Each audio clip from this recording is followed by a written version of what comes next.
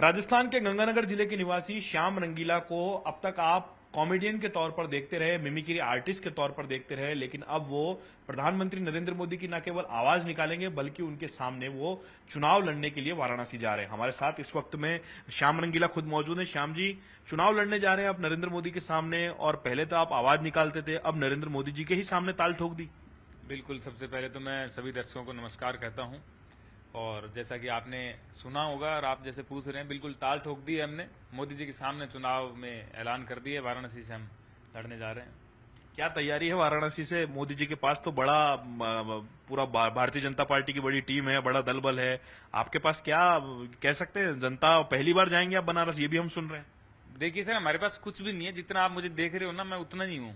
मेरे पास कोई और लड़ने जा रहे हैं कोई मतलब हम युद्ध तो लड़ नहीं रहे हैं जो तैयारियाँ भाला वाला उठाएँगे, घोड़े तैयार करेंगे तो हाथी तैयार करें, ऐसी कोई बात ही नहीं है। वो लोकतंत्र में हम जो चुनाव है, उसके अंदर पर्चा भरेंगे और आराम से लड़ने, कोई लड़ने वाली तो कोई बात नहीं है, बस हम तो दावेदारी जो है वो साबित करेंगे दावेदारी साबित करने जा रहे हैं। ऐसा तो नहीं होगा कि कि नामांकन वापस ले लेंगे, आप भी और लोग भी ले रहे हैं, कई लोग वापस? नहीं नहीं, नामांकन ना कोई वापस ले, इसीलिए तो हम वहाँ पे जा रहे हैं। हम, मेरा तो पॉइंट ऑफ़ व्यू तो वही था कि भैया, सूरत में जो हुआ, सूरत के अंदर जो है कांग्रेस पार्टी ने नामांकन वापस ले लिया और बाकी सारों ने ले लिया और वहाँ पे निर्विरोध जीत गए।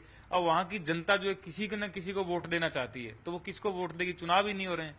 तो मेरा कहने का मतलब ये था कि जैसे चंडीगढ़ में हुआ, खजुराहो में हुआ, सूरत में हुआ, इंदौर में हुआ, और भी जगह होगा तो वैसा वाराणसी में ना हो कहीं, क्योंकि पूरे देश के अंदर देखो, कांग्रेस पार्टी इतनी बढ़िया मतलब ऐसे ऐसे चुनाव लड़ रही है मोदी जी के सामने, कांग्रेस ही लड़ रही है, गठबंधन बना के सब। तो उसी के जो जो एमपी बनने वाले हैं, दो जो सीटें उन्होंने सोची है कि हमें आएँगी, उसमें से दो लोग बीजेपी में चले गए। ये कितनी बड़ी बात है, दो अगर आते दो जीतते वहाँ तो वो तो ऑलरेडी चले गए। तो ये तो लोकतंत्र में पता नहीं क्या ही हो रहा है। तो वहाँ ऐसा ना हो, उनका भरोसा नहीं है। दो सौ लोग खड़े किए, उनका भरोसा ही नहीं है। तो मैं जो है वाराणसी जा रहा हूँ कि भैया सब अगर चुनाव पर्चे सब उठा लेंगे तो मैं नहीं उठाऊँगा मैं तो वहाँ पे खड़ा रहूँगा। तो लोग लोग अगर वोट करने जाएँगे तो उनको दो लोग तो एटलीस्ट दिखे नरेंद्र मोदी श्याम रंगीला। अच्छा ये बताइए श्याम जी ये विचार कैसे आए? कभी आप ना तो वाराणसी गए ना आप वहाँ के रहने वाले हैं आपका ताल्लुक गंगानगर से है। आप अब तक नरेंद्र मोदी की राहुल गांधी की आवाज़ निकालते थे लेकिन अब अचानक आपका कैसे प्लान बना बनारस जाने का? बनारस जाने का प्लान ऐसे ही बना जैसे मोदी जी का बना था उस समय वैसे ही हमारा बना। और मैं मोदी जी की आवाज़ निकालता हूँ बाकी पॉलिटिशियंस की भी निकालता हूँ। प्लान ऐसे बना जैसे जो चीज़ घटित हो रही है। तो मुझे मैं अभी बताया वो वही बताया मैंने कहा प्लान बनाने का ये सिस्टम था कि ये जब प्लान बनेगा तो हमारी बात जो है लोगों तक पहुंचेगी। और हम ये बताएँगे कि भैया ये चीज़ हो रही है देश के अंदर कि लोग जो है ना वो आँखें मूंद के बैठे हुए हैं। तो आपको भी क्या माँ गंगा ने बुलाया है? वाराणसी ने बुलाया है? देखिए मैं ऐसी बातें करूँगा ही नहीं। क्योंकि वो बातें करने से कोई मतलब नहीं है। उन्होंने 2014 में कह दिया था। मैं तो सीधा कहूँगा मुझे बनारस ने बुलाया है। मैं खुद भी आया हूँ। मुझे गंगा मैया ने भी बुलाया है। गंगा मैया ने आपको बुलाया? वाराणसी के बारे में क्या जानते हैं? आप क्या इत्तेफाक रखते हैं वाराणसी की समस्याओं से, वाराणसी के लोगों से? गलियों का शहर है। काफ़ी डेवलपमेंट भी किया हुआ नरेंद्र मोदी ने पिछले दस सालों में।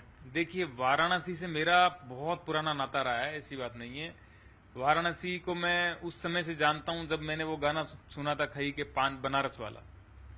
तो मोदी जी ऐसे ही नाते निकालते हैं तो मैं भी ऐसे ही नाते निकालूँगा। मेरा तो पुराना नाता रहा है जी। खई के पान बनारस वाला। जो बनारस का जो पान था, मित्रों, मैं शुरुआत से वो खाना चाहता था। तो मेरा भी नाता वही है। जैसे मोदी जी पहली बार बनारस गए थे, मैं भी पहली बार ही जाऊँगा और बिल्कुल ताल ठोक के जाएँगे। और बनारस की जनता का वैसे ही प्यार हमें भी मिलेगा। श्याम जी अगर नामांकन के बाद में नाम चलते नामांकन में राहुल गांधी का फ़ोन आ जाता है या नरेंद्र मोदी से बात हो जाती है तो वो किस तरीके से आपसे बात करेंगे और आप किस तरीके से बातचीत करेंगे? एक बार थोड़ा बताइए मिमिक्री करके। देखिए मोदी जी का जो फ़ोन आएगा ना तो मोदी जी यही बोलेंगे कि मित्रों ये जो श्याम रंगीला है जैसा कि मैंने कहा था कि जो जिस भाषा में समझेगा मैं उसको उसी भाषा में जवाब दूँगा। तो ये श्याम रंगीला तो इसको गंभीरता से ले गया जी। ये तो मुझे ही मेरी भाषा में जवाब देने के लिए बनारस आ रहा है। तो कांग्रेस के कांग्रेस को तो कैंडिडेट भी नहीं मिल रहा वहाँ पे। आप तो बेहतर कैंडिडेट हो सकते थे कांग्रेस के लिए। प्रदेश अध्यक्ष को लड़ना पड़ रहा है वहाँ पे। तो कैंडिडेट मिल नहीं रहा वो वो खुद ही लड़ रहे हैं ना। मिल तो रहा होगा वो खुद लड़ रहे हैं। और मैं ये मैंने यही सोचा मैंने कहा जब कांग्रेस के प्रेसिडेंट ही वहाँ से लड़ रहे हैं तो मैं उनको कैसे कहूँगा?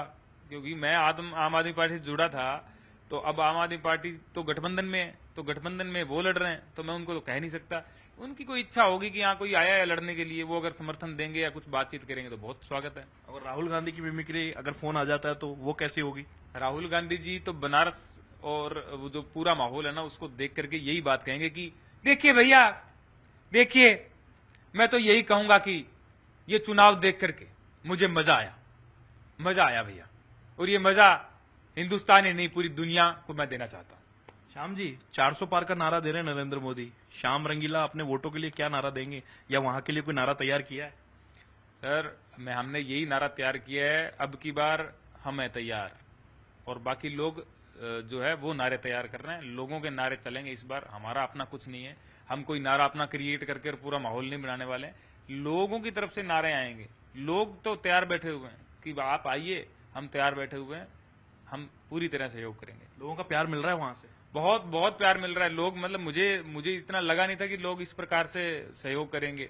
लोग कह रहे हैं आप आओ बस आपका इंतज़ार में हैं। हम और तन मन धन से लोग सहयोग करने के लिए तैयार बैठे हो। तन मन धन से लोग तो तैयार है लेकिन अब आप जाएँगे वहाँ भाषण देंगे। लोग कंफ्यूज ना हो जाएँ। आप हैं कि नरेंद्र मोदी है? श्याम रंगीला है या नरेंद्र मोदी है? नहीं कंफ्यूज नहीं होंगे क्योंकि मैं सच्ची और अच्छी बातें करूँगा।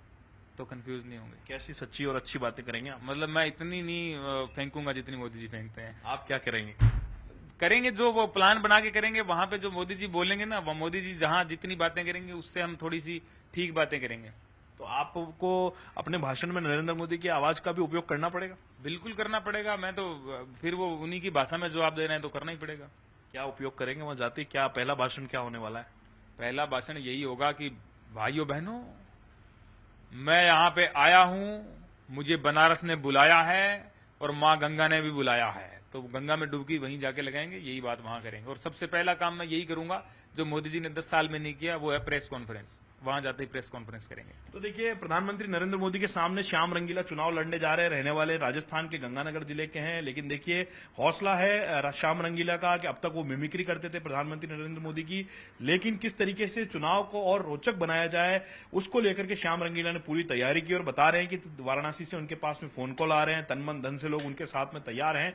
अब प्रधानमंत्री नरेंद्र मोदी के सामने ये तो तय हो गया कि श्याम रंगीला मैदान में डटे रहेंगे।